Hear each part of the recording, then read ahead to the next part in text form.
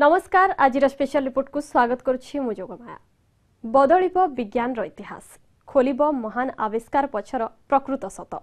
ଏହି ସତ ଆବିଷ୍କାର ପଛରେ ଲୁଚିଛି ଡାହା ମିଛ। ପ୍ରକୃତ ଘଟଣା ନୁହେଁ ନିହାତି ମନଗଢ଼ା କାହାଣୀ। ଏ କାହାଣୀ ଆଉ କାହାର ନୁହେଁ ପୃଥିବୀର ମହାନ୍ତମ ଆବିଷ୍କାରକୁ ନେଇ। ଶତାବ୍ଦୀର ବିଶିଷ୍ଟ ବୈଜ୍ଞାନିକ ନ୍ୟୁଟନଙ୍କୁ ନେଇ। ଜଣାପଡ଼ିଛି ଯେ ଚୋରି ହୋଇଛି ମାଧ୍ୟାକର୍ଷଣ।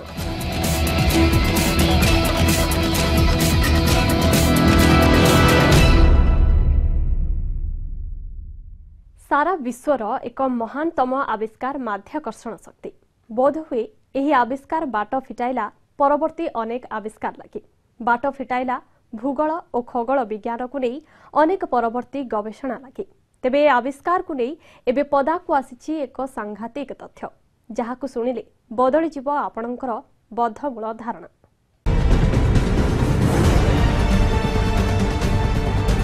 ବୈଜ୍ଞାନିକ ଅନୁସିଦ୍ଧାନ୍ତ ପଛରେ ବିଭ୍ରାନ୍ତି। ପୁଣି ପଦାରେ ପଡ଼ିଲା ପାଶ୍ଚାତ୍ୟର ପ୍ରତାରଣା। ଶେଷରେ ମାନିଲା ମାଞ୍ଚେଷ୍ଟର ବିଶ୍ୱବିଦ୍ୟାଳୟ। ମାଧ୍ୟାକର୍ଷଣକୁ ନେଇ ହୋଇଛି ମସ୍ତବଡ଼ ଭୁଲ। ମାଧ୍ୟାକର୍ଷଣ ଶକ୍ତିର ପ୍ରକୃତ ଆବିଷ୍କାରକ କିଏ? ସାଂଘାତିକ ଖୁଲାସା କରିଛନ୍ତି ଇଂଲଣ୍ଡର ପ୍ରସିଦ୍ଧ ମାଞ୍ଚେଷ୍ଟର ବିଶ୍ୱବିଦ୍ୟାଳୟର ଜଣେ ପ୍ରଫେସର। ତାଙ୍କ ନାଁ ହେଉଛି ପ୍ରଫେସର ଜର୍ଜ ଭର୍ଗିଜ୍ ଜୋସେଫ। ଜୋସେଫଙ୍କ ଲିଖିତ the crest of the peacock the non European roots of ମ୍ୟାଥମେଟିକ୍ସରେ ସେ ଲେଖିଛନ୍ତି ପାଶ୍ଚାତ୍ୟ ଅନୁସନ୍ଧାନ ଏବଂ ଉଦ୍ଭାବନର ଅନେକ ଭିତିରି କଥା। ଏ ବହିର ତୃତୀୟ ଭାଗ ଏବେ ପ୍ରିନ୍ସଟନ ୟୁନିଭର୍ସିଟି ପ୍ରେସ୍ ଦ୍ୱାରା ପ୍ରକାଶ ପାଇବାକୁ ଯାଉଛି। ଜୋସେଫ କହିଛନ୍ତି ଯେଉଁ ଆଧାରରେ ନ୍ୟୁଟନ ମାଧ୍ୟାକର୍ଷଣ ଶକ୍ତିକୁ ଗଣନା କରିଛନ୍ତି ତାହା ଆସିଛି ଭାରତରୁ। ଜୋସେଫଙ୍କ କହିବା କଥା ଆଜି ପର୍ଯ୍ୟନ୍ତ ବିଶ୍ୱ ଜାଣିଛି ଆଧୁନିକ ଗଣିତ ୟୁରୋପରେ ହିଁ ଆବିଷ୍କାର ହୋଇଛି। କିନ୍ତୁ ଏ ଦିଗରେ ଭାରତୀୟମାନେ ଅନେକ ପୂର୍ବରୁ ଦକ୍ଷତା ହାସଲ କରିସାରିଛନ୍ତି। କିନ୍ତୁ ଜାଣିଶୁଣି ଭାରତୀୟମାନଙ୍କ ଅବଦାନକୁ ଉପେକ୍ଷା କରାଯାଇଛି। ନ୍ୟୁଟନଙ୍କ ମାଧ୍ୟାକର୍ଷଣ ଶକ୍ତି ଗଣନା ବା ଏଫ୍ ଇଜିକାଲ ଟୁ ଏମ୍ଏ ପଛରେ ରହିଛି ଭାରତୀୟ ଗାଣିତିକ ସୂତ୍ର ସପ୍ତଦଶ ଶତାବ୍ଦୀରେ ଏ ଅବଗଣନା କରିଥିଲେ ନ୍ୟୁଟନ କିନ୍ତୁ ତାର ଶହ ଶହ ବର୍ଷ ପୂର୍ବରୁ ଅନ୍ତତଃ ତେରଶହ ପଚାଶ ମସିହା ପୂର୍ବରୁ ଭାରତୀୟମାନେ ଏ ସମ୍ପର୍କିତ ସୂତ୍ର ଜାଣିଥିଲେ। କେରଳର ଏକ ଗୁରୁକୁଳରେ ବ୍ୟବହାର ହେଉଥିଲା ଇନଫାନାଇଟ୍ ସିରିଜ୍ ବା ଅନିର୍ଦ୍ଦିଷ୍ଟ ଅବଗଣନା ସୂତ୍ର। ଭାରତୀୟଙ୍କୁ ଜଣାଥିଲା ପାଇର ମୂଲ୍ୟ ନିର୍ଦ୍ଧାରଣ। ଭାରତୀୟମାନେ ପାଇର ମୂଲ୍ୟ ନଅ କି ଦଶ ନୁହେଁ ସତର ଅଙ୍କ ପର୍ଯ୍ୟନ୍ତ ନିର୍ଦ୍ଧାରଣ କରିପାରୁଥିଲେ। ଏ ସୂତ୍ରକୁ ଭାରତୀୟମାନଙ୍କଠାରୁ ଖ୍ରୀଷ୍ଟିଆନ ମିଶନାରୀମାନେ ପଞ୍ଚଦଶ ଶତାବ୍ଦୀରେ ଭାରତରୁ ୟୁରୋପକୁ ନେଇଥିଲେ। ଏ ସମ୍ପର୍କିତ ଠୋସ୍ ପ୍ରମାଣ ଏବେ ବି ରହିଛି ହୁଏତ ସେମାନେ ହିଁ ଏହାକୁ ନ୍ୟୁଟନକୁ ଦେଇଥାଇପାରନ୍ତି। ଜୋସେଫଙ୍କ କହିବା କଥା ନ୍ୟୁଟନଙ୍କ ଦ୍ୱାରା ଆବିଷ୍କୃତ ଗଣନା ପଦ୍ଧତିରେ ନ୍ୟୁଟନଙ୍କ ଅବଦାନ ତ ନିଶ୍ଚିତ ରହିଛି। କିନ୍ତୁ ଏହା ସହ ଅବଗଣନାର ପ୍ରକୃତ ଆବିଷ୍କାରକ ମାଧବ ଏବଂ ନୀଳକଣ୍ଠଙ୍କୁ ମଧ୍ୟ ସମାନ ଶ୍ରେୟ ଏବଂ ସମ୍ମାନ ମିଳିବା ଉଚିତ। ଜୋସେଫ କହିଛନ୍ତି ଉପନିବେଶବାଦୀ ମନୋଭାବ ଯୋଗୁଁ ୟୁରୋପୀୟମାନେ ଏହାକୁ ସ୍ୱୀକାର କରୁନାହାନ୍ତି। ତାଛଡ଼ା ଭାରତୀୟ ଗବେଷଣାଲବ୍ଧ ଜ୍ଞାନ ସବୁ ସ୍ଥାନୀୟ ଭାଷାରେ ଲିପିବଦ୍ଧ ଥିବାରୁ ଏହାକୁ କୌଶଳପୂର୍ଣ୍ଣ ଭାବରେ ଏଡ଼େଇ ଯିବା ସହଜ ଥିଲା। ଯେପରିକି ଅନେକ ଗାଣିତିକ ସୂତ୍ରର ଉତ୍ସ କେରଳର ୟୁକ୍ତିଭାଷା ମାଲାୟାଲମରେ ଲିଖିତ। ପାଞ୍ଚଶହ ବର୍ଷ ପୂର୍ବରୁ ଭାରତରୁ ପାଶ୍ଚାତ୍ୟ ଜଗତକୁ ଜ୍ଞାନ ପ୍ରବାହ ଜାରି ରହିଥିଲା। ଉପନିବେଶବାଦ ଆରମ୍ଭ ହେବା ପରେ ଏହାକୁ ଜାଣିଶୁଣି ଖଣ୍ଡନ କରାଗଲା। ଏପରିକି ପଞ୍ଚଦଶ ଶତାବ୍ଦୀରେ ପୋପ୍ ଗ୍ରେଗରୀ ତ୍ରୟୋଦଶ ଜୁଲିଆନ୍ କ୍ୟାଲେଣ୍ଡର ବା ସ୍ଥାନୀୟ ରୋମାନ କାଳ ଗଣନା ପଦ୍ଧତିକୁ ତ୍ରୁଟିଶୂନ୍ୟ କରିବା ପାଇଁ କମିଟି ଗଢ଼ିଥିଲେ। କମିଟିର ସଦସ୍ୟ ଥିବା ଜର୍ମାନ ଗଣନାକାରୀ କ୍ଲାଭିୟସ୍ ଏ ସମ୍ପର୍କରେ ଭାରତରୁ ଜ୍ଞାନ ଆହରଣ କରିଥିଲେ। ସେହିପରି ଜଳଯାତ୍ରା ପାଇଁ ନିର୍ଦ୍ଦିଷ୍ଟ ସମୟ ଗଣନାକାରୀ ତଥ୍ୟ ଦେବାରୁ କେରଳର ଜଣେ ଜ୍ୟୋତିର୍ବିଦଙ୍କୁ ବିପୁଳ ରାଶି ଦ୍ୱାରା ପୁରସ୍କୃତ କରିଥିଲେ ୟୁରୋପୀୟମାନେ। Bureau report ETV news. କେବଳ ମାଧ୍ୟାକର୍ଷଣ ଶକ୍ତି ନୁହେଁ ବିଖ୍ୟାତ ନ୍ୟୁଟନ୍ସ ଲ ବା ନ୍ୟୁଟନଙ୍କ ଦ୍ୱାରା ପ୍ରଣୀତ ମହାଜାଗତିକ ନିୟମ ପଛରେ ବି ରହିଛି ଏକ ଜାଲିଆତି। କୁହାଯାଉଛି ଯେ ଏ ନିୟମ ପଛରେ ରହିଛି ଜଣେ ଭାରତୀୟ ବିଶେଷଜ୍ଞଙ୍କ ଅବଦାନ। ତାଙ୍କ ସୂତ୍ରକୁ କେବଳ ଭିନ୍ନ ନାଁ ଦିଆଯାଇଛି।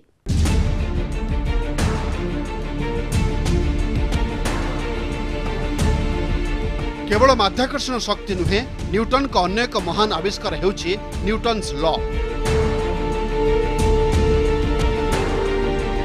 ଏହା ହେଉଛି ଏକ ମହାଜାଗତିକ କ୍ରିୟା ଯାହାକୁ ନିୟମବଦ୍ଧ ଭାବେ ପ୍ରଥମେ ସାମ୍ନାକୁ ଆଣିଥିଲେ ସାର୍ ଆଇଜାକ୍ ନ୍ୟୁଟନ।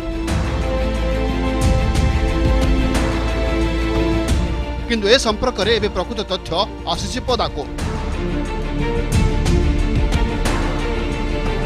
ପ୍ରମାଣ ମିଳିଛି ଗତି ସମ୍ପର୍କିତ ନ୍ୟୁଟନଙ୍କ ଏହି ତିନି ସୂତ୍ର ମୌଳିକ ନୁହେଁ। ନ୍ୟୁଟନଙ୍କ ବହୁ ପୂର୍ବରୁ ଏ ସମ୍ପର୍କରେ ଜାଣିଥିଲେ ଭାରତୀୟମାନେ। ଏପରିକି ଭାରତୀୟ ଶାସ୍ତ୍ରରେ ଉଲ୍ଲେଖ ଥିବା ସୂତ୍ର ଆଧାରରେ ହିଁ ଏହାକୁ ପ୍ରସ୍ତୁତ କରିଥିଲେ ନ୍ୟୁଟନ। ପ୍ରମାଣ ମିଳିଛି ଗତି ସମ୍ପର୍କିତ ମହାଜାଗତିକ ସୂତ୍ର ସମ୍ପର୍କରେ ପ୍ରଥମେ ଉଲ୍ଲେଖ କରିଥିଲେ ଭାରତୀୟ ବିଜ୍ଞାନୀ ମହର୍ଷି କଣାଦ କଣାଦଙ୍କ ଜୀବନକାଳ ଖ୍ରୀଷ୍ଟପୂର୍ବ ଷଷ୍ଠରୁ ଦ୍ୱିତୀୟ ଶତାବ୍ଦୀ ଭିତରେ ଥିଲା। ସେହି ସମୟରେ ସେ ରଚନା କରିଥିଲେ ବୈଷୟିକ ସୂତ୍ର। ଯେଉଁଥିରେ ଉଲ୍ଲେଖ ରହିଛି ବେଗ ନିମିତ୍ତ ବିଶେଷାତ୍ କର୍ମେଣ ଜାୟତେ ଯାହାର ଅର୍ଥ ବାହ୍ୟ ବଳ ପ୍ରଭାବରେ ବେଗ ସୃଷ୍ଟି ହୁଏ। ପୁଣି ଲେଖାଯାଇଛି ବେଗ ନିମିତ୍ତ ଅପେକ୍ଷାତ୍ କର୍ମୋଣେ ଜାୟତେ ନିୟନ୍ଦିକ କ୍ରିୟା ପ୍ରବନ୍ଧ ହେତୁ। ଅର୍ଥ ଯେଉଁ ପ୍ରମାଣରେ ଓ ଯେଉଁ ଦିଗରେ ବଳ ପ୍ରୟୋଗ ହୁଏ ଗତି ସମ ପରିମାଣରେ ଏ ସମାନ ଦିଗରେ ସୃଷ୍ଟି ହୋଇଥାଏ। ଏବଂ ଶେଷ ନିୟମ ଭାବେ ରହିଛି ବେଗ ସଂଯୋଗ ବିଶେଷ ବିରୋଧୀ। ଅର୍ଥାତ୍ ପ୍ରତି କ୍ରିୟାର ସମାନ ବିପରୀତ ପ୍ରତିକ୍ରିୟା ରହିଥାଏ। ନ୍ୟୁଟନଙ୍କ ପ୍ରଣୀତ ଗତି ସମ୍ପର୍କିତ ତିନିଟି ସୂତ୍ର ବୈଷୟିକ ସୂତ୍ର ଆଧାରରେ ହିଁ ହୋଇছে କିନ୍ତୁ ଏହାକୁ ମୌଳିକ ସୂତ୍ର ବୋଲି ଏଯାଏଁ ସମସ୍ତେ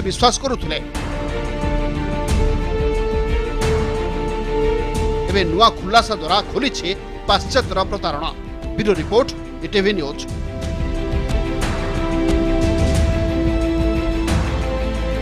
କେବଳ ମାଧ୍ୟାକର୍ଷଣ ନୁହେଁ ବିଶ୍ୱର ଅନ୍ୟ ଦୁଇ ବଡ଼ ଆବିଷ୍କାର ରେଡିଓ ଓ ଉଡ଼ାଜାହାଜ ପଛରେ ବି ରହିଛି ଭାରତୀୟଙ୍କ ଅବଦାନ।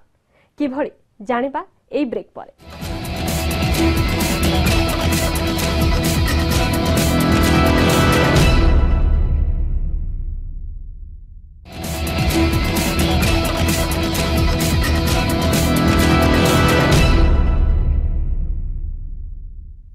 ବ୍ରେକ୍ ପରେ ପୁଣି ଥରେ ସ୍ୱାଗତ ସ୍ପେଶାଲ ରିପୋର୍ଟକୁ ଦୁଇ ମହାନ ବୈଜ୍ଞାନିକ ଦୁଇ ଚର୍ଚ୍ଚିତ ବ୍ୟକ୍ତିତ୍ୱ ବିଶ୍ୱ ସମୁଦାୟକୁ ଯାହା ଦେଇଛନ୍ତି ତାର ପ୍ରଭାବ ବି ଅତୁଳନୀୟ। କିନ୍ତୁ ଜଣେ ଚର୍ଚ୍ଚିତ ଅନ୍ୟ ଜଣେ ଅବହେଳିତ। ଜଣେ ଇତିହାସରେ ସ୍ଥାନିତ ଅନ୍ୟ ଜଣେ ଉପେକ୍ଷିତ। କାହିଁକି ଏ ପ୍ରତାରଣା? କାହିଁକି ପକ୍ଷପାତର ଏ କାହାଣୀ? ଏ କାହାଣୀ ବେତାର ବା ରେଡିଓର ଯାହା ପଛରେ ଅଛନ୍ତି ଜଣେ ଭାରତୀୟ। ବିଶ୍ୱର ଅନ୍ୟତମ ମହାନ୍ତମ ଆବିଷ୍କାର ଯାହା ବଦଳାଇ ଦେଲା ପୃଥିବୀର ଯୋଗାଯୋଗର ଭାଷା ଏହା ଭିତରେ ବିତିଗଲାଣି ଶହେ ବର୍ଷରୁ ଅଧିକ ସମୟ ତାହା ଥିଲା ଏଭଳି ଆବିଷ୍କାର ଯାହାଦ୍ୱାରା ସମ୍ଭବ ହେଲା ଯୋଗାଯୋଗ ମନୋରଞ୍ଜନ ସୂଚନା ଓ ଖବର ପ୍ରସାରଣ ପ୍ରାକୃତିକ ଦୁର୍ବିପାକ ହେଉ କି ଯୁଦ୍ଧ ସବୁଥିରେ ଏହାର ଭୂମିକା ଗୁରୁତ୍ୱପୂର୍ଣ୍ଣ ଏ ଅଦ୍ଭୁତ ଆବିଷ୍କାରର ନାଁ ରେଡିଓ ଆମେ ଛୋଟବେଳୁ ପଢ଼ି ଆସିଛୁ ରେଡିଓକୁ ଆବିଷ୍କାର କରିଛନ୍ତି ଇଟାଲିଆ ବୈଜ୍ଞାନିକ ମାର୍କୋନି। କିନ୍ତୁ ସତରେ କ'ଣ ଏହା ଏକମାତ୍ର ସତ? ନା ସେ ଏ ବିଦ୍ୟା କାହାଠୁ ଚୋରି କରିଥିଲେ? ଅଠରଶହ ପଞ୍ଚାନବେ ମସିହା ମାତ୍ର ଏକୋଇଶ ବର୍ଷ ବୟସରେ ମାର୍କୋନି ବିଦ୍ୟୁତ୍ ଚୁମ୍ବକୀୟ ତରଙ୍ଗ ବ୍ୟବହାର କରି ନିଜ ଘରଠାରୁ ଅଳ୍ପ ଦୂରରେ ଥିବା କାର୍ଯ୍ୟସ୍ଥଳୀରେ ବେଲ୍ ବଜାଇ ପାରିଥିଲେ। ଏହାପରେ ସେ ଆଣ୍ଟିନା ବ୍ୟବହାର କରି ଦୁଇ ମାଇଲ ପର୍ଯ୍ୟନ୍ତ ସିଗ୍ନାଲ ପଠାଇ ପାରିଥିଲେ। ତାଙ୍କର ଏ ନୂଆ ବ୍ୟବସ୍ଥାକୁ ଗ୍ରହଣ କରିନଥିଲା ଇଟାଲୀୟ ଡାକ ଓ ତାର ବିଭାଗ। ତେଣୁ ସେ ଏହି ସଫଳତାକୁ ଇଂଲଣ୍ଡରେ ପହଞ୍ଚାଇଥିଲେ। ସେଠାରେ ସାହାଯ୍ୟ ସମର୍ଥନ ପାଇବା ପରେ ବତିଶ ମାଇଲ ଦୂର ଏକ ସ୍ଥାନକୁ ପଠାଇଥିଲେ ୱାୟାରଲେସ୍ ସିଗ୍ନାଲ। ବ୍ୟାବସାୟିକ ସଫଳତା ପାଇଲା ତାଙ୍କର ଏହି ଆବିଷ୍କାର। ସେ ଆମେରିକାରେ ପ୍ରତିଷ୍ଠା କରିଥିଲେ ଏକ ୱାୟାରଲେସ୍ ସିଗ୍ନାଲ କମ୍ପାନୀ। କିନ୍ତୁ ପରବର୍ତ୍ତୀ ସମୟରେ ଆମେରିକା ସରକାର ତାକୁ ନିଜ ଅଧୀନକୁ ନେଇଥିଲେ। ବ୍ରିଟେନରେ ଥିବା ତାଙ୍କର ଏକ କମ୍ପାନୀ ସର୍ବସାଧାରଣ ରେଡିଓ ପ୍ରସାରଣ ସେବା ଆରମ୍ଭ କଲା। ପରେ ଯାହା ବିବିସି ନାମରେ ପରିଚିତ ଏ ତ ଥିଲା ଆମେ ପଢ଼ିଥିବା କଥା କିନ୍ତୁ ରେଡିଓକୁ ନେଇ ରହିଛି ଅନ୍ୟ ଏକ ମତ। ଭାରତର ମହାନ ବୈଜ୍ଞାନିକ ଜଗଦୀଶ ଚନ୍ଦ୍ର ବୋଷ ଯାହାଙ୍କୁ କିଛି ବିଶେଷଜ୍ଞ ମାନିଥାନ୍ତି ରେଡିଓର ଅସଲି ଜନକ ଭାବେ। ତାଙ୍କର ଆବିଷ୍କାର ଥିଲା ବିନା ତାରରେ ବାର୍ତ୍ତା ପଠାଇବା ଯାହାକୁ ନେଇ ରେଡିଓ ମୋବାଇଲ ଟିଭି ଓ ଅନ୍ୟ ଉପକରଣ କାର୍ଯ୍ୟ କରୁଛି। ସେ ଶିକ୍ଷକତା କରିବା ପରେ ବାକି ସମୟ ଗବେଷଣାରେ ବିତାଉଥିଲେ। କିନ୍ତୁ ମାର୍କୋନି ଓ ଜଗଦୀଶଙ୍କ ମଧ୍ୟରେ ଫରକ ଏତିକି ଥିଲା ଯେ ଜଗଦୀଶ କୌଣସି ଆବିଷ୍କାରର ପେଟେଣ୍ଟ ନେବାର ଘୋର ବିରୋଧୀ ଥିଲେ। ସେ ଏଭଳି ଆବିଷ୍କାରର ବ୍ୟାବସାୟିକ ଫାଇଦା ଉଠାଇବା ବଦଳରେ ସମସ୍ତଙ୍କୁ ଜ୍ଞାନ ବାଣ୍ଟିଥିଲେ କାରଣ ତାଙ୍କ ମତ ଥିଲା ଜ୍ଞାନ ବାଣ୍ଟିଲେ ଏହା ଅଧିକ ବିକଶିତ ହୋଇପାରିବ। ଯାହାକି ତାଙ୍କ ମହାନତାକୁ ଦର୍ଶାଉଛି। ମାର୍କୋନି ଜଣେ ମହାନ ବୈଜ୍ଞାନିକ ସେଥିରେ ସନ୍ଦେହ ନାହିଁ କିନ୍ତୁ ପ୍ରକୃତରେ କ'ଣ ଜଗଦୀଶକୁ ମିଳିଛି ନିଜର ଆବିଷ୍କାରର ପ୍ରାପ୍ୟ? ଯେ ଅର୍ଥ ଓ ସମ୍ମାନ ବଦଳରେ ନୂଆ ଆବିଷ୍କାର ଗବେଷଣାକୁ ଗୁରୁତ୍ୱ ଦେଲେ ସେ ହୁଏତ ଅଧିକ କିଛି ଚାହେଁନି କିନ୍ତୁ ଇତିହାସ ପୃଷ୍ଠାରେ ମାର୍କୋନିଙ୍କ ସହ ଜଗଦୀଶଙ୍କ ନାଁ ରଖିବାକୁ ପ୍ରତିଟି ଭାରତୀୟଙ୍କର ଆଜି ବି ଆଶା ବ୍ୟୁରୋ ରିପୋର୍ଟ ଇଟିଭି ନ୍ୟୁଜ୍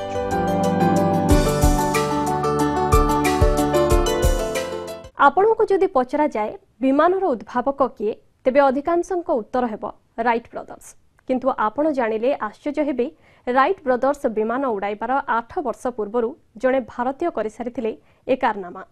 କିଏ ସେ ଭାରତୀୟ? କ'ଣ ତାଙ୍କ କାରନାମା? ଆସନ୍ତୁ ଜାଣିବା।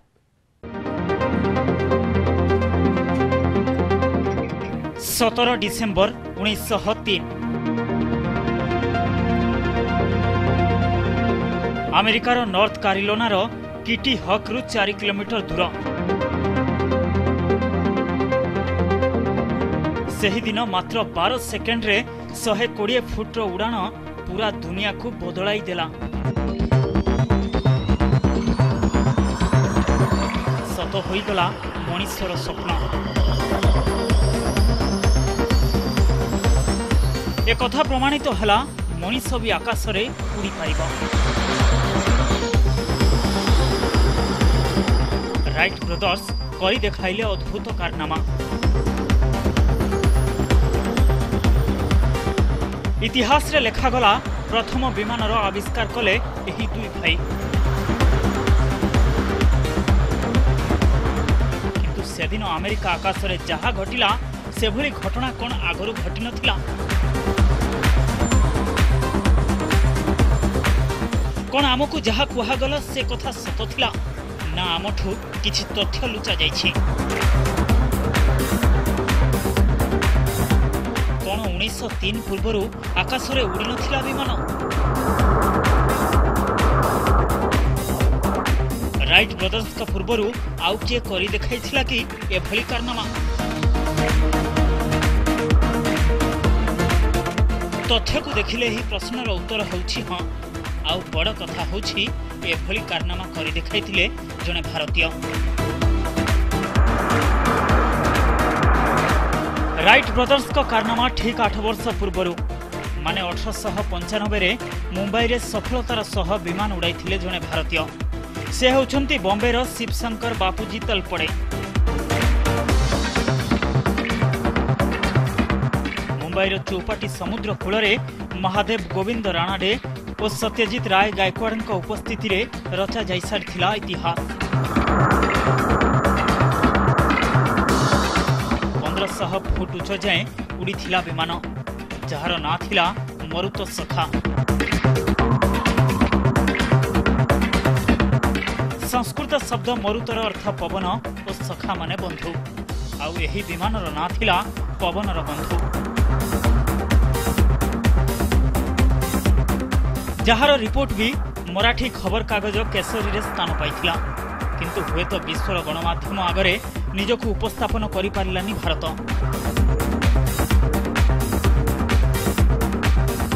ପାଶ୍ଚାତ୍ୟର ଚାପ ଆଗରେ ହାର ମାନିଲା ମହାନ ଆବିଷ୍କାର କିନ୍ତୁ ଆଜି ଏହାକୁ ନେଇ ବାରମ୍ବାର ସ୍ୱର ଉଠୁଛି ତେବେ ଇତିହାସର ପୃଷ୍ଠାରେ ଏହାକୁ ମାନ୍ୟତା ମିଳିବ କି ନାହିଁ ତାହା ଏବେ ସ୍ପଷ୍ଟ ନୁହେଁ। ତେବେ କିଭଳି ତଳ୍ପଡ଼େ ଏହି କାରନାମା କରି ଦେଖାଇଥିଲେ ଏହା ପଛରେ କିଏ ଥିଲା ପ୍ରେରଣା? ଆସନ୍ତୁ ଜାଣିବା। ଅଠରଶହ ଚଉଷଠିରେ ମୁମ୍ବାଇର ଚିରା ବଜାରରେ ଜନ୍ମ ନିଅନ୍ତି ଶିବଶଙ୍କର ବାପୁଜୀ ତଳ୍ପଡ଼େ ଆଧୁନିକ ବିମାନର ଜନକ।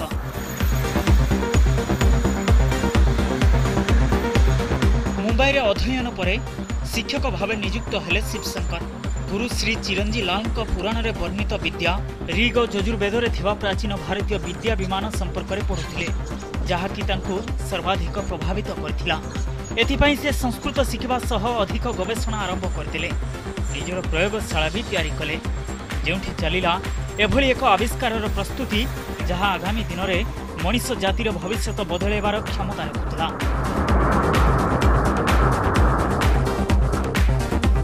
ତଳ୍ପଡ଼େ ପ୍ରାଚୀନ ବିମାନ କଳା ଓ ଶୋଧ ପରି ପୁସ୍ତକରେ ମଧ୍ୟ ଏ ସମ୍ପର୍କରେ ଅଧିକ ତଥ୍ୟ ରଖିଛନ୍ତି। କିନ୍ତୁ ଏଠି ପ୍ରଶ୍ନ ଉଠୁଛି କ'ଣ ଆମେ ଏହାର ହକ୍ ପାଇଁ ଠିକ୍ ଭାବେ ସ୍ୱର ଉଠାଇଛୁ? ଯଦି ଉଠାଇଛୁ ତେବେ କେଉଁଠି ରହିଛି ଭୁଲ? ଏତେ ବଡ଼ ଆବିଷ୍କାର ଏତେ ବଡ଼ ସଫଳତା କିନ୍ତୁ କାହିଁକି ମିଳିଲାନି ମାନ୍ୟତା? ଏବେ ଆତ୍ମସମୀକ୍ଷାର ବେଳ। Bureau report ETV news.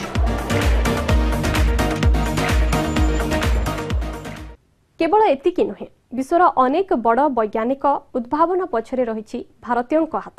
କିନ୍ତୁ ମିଳିନି ସ୍ୱୀକୃତି। ସେ ସମ୍ପର୍କରେ ଜାଣିବା ଆଉ ଏକ ଛୋଟ ବ୍ରେକ୍ ପରେ।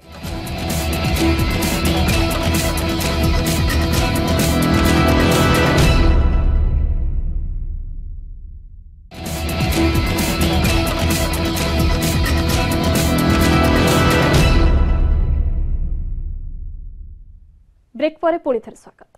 ବିଶ୍ୱ ବିଜ୍ଞାନକୁ ଭାରତ ଓ ଭାରତୀୟଙ୍କ ଅବଦାନ ଅନେକ। କେବଳ ମାଧ୍ୟାକର୍ଷଣ ବେତାର ବା ଉଡ଼ାଜାହାଜ ନୁହେଁ ବିଜ୍ଞାନର ପ୍ରତି ବିଭାଗରେ ଉତ୍କର୍ଷ ଥିଲା ଭାରତରେ ଯାହାଦ୍ୱାରା ଉପକୃତ ହେଉଥିଲା ମାନବ ଜାତି। ଏମିତି କେତେକ ମହାନ୍ତମ ଅବଦାନ ସମ୍ପର୍କରେ ଆସନ୍ତୁ ଜାଣିବା।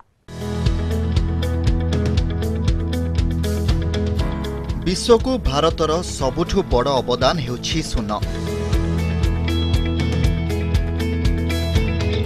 ଜିରୋ ଶୂନ୍ୟ ଶୂନ।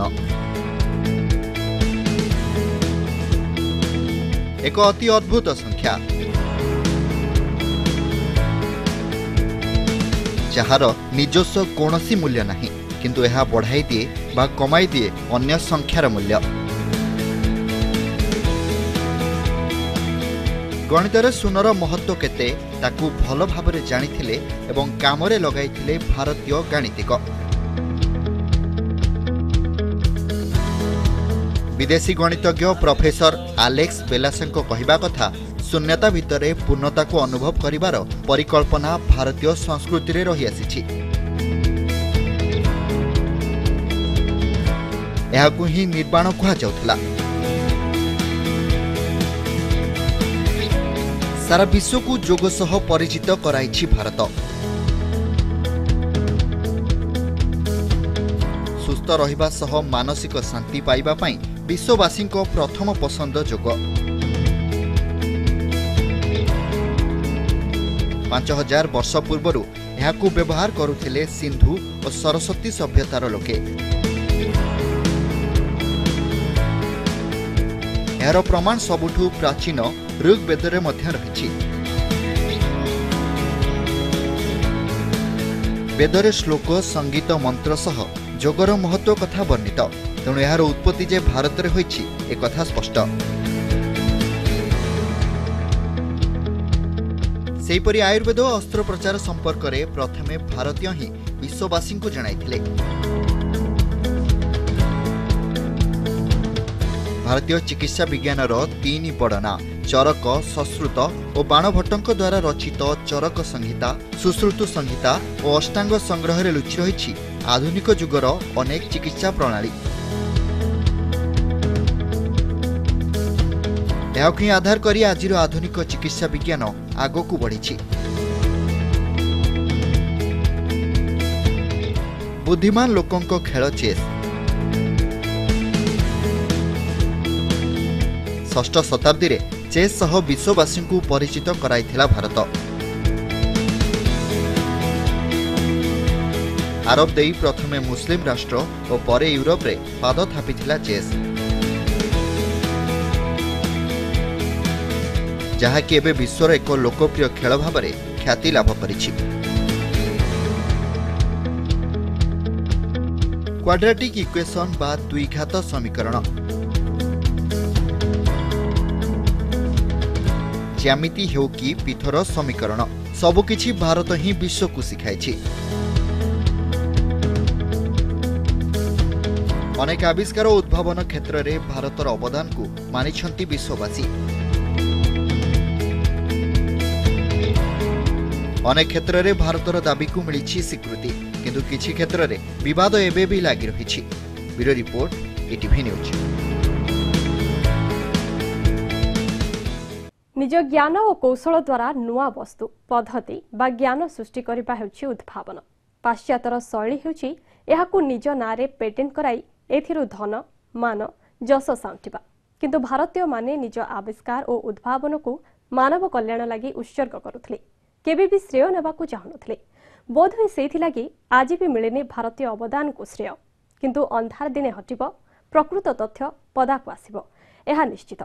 ସମୟ ସରିଛି ଆଜିର ସ୍ପେଶାଲ ରିପୋର୍ଟକୁ ଏଇଠି ରଖିବା। ନମସ୍କାର।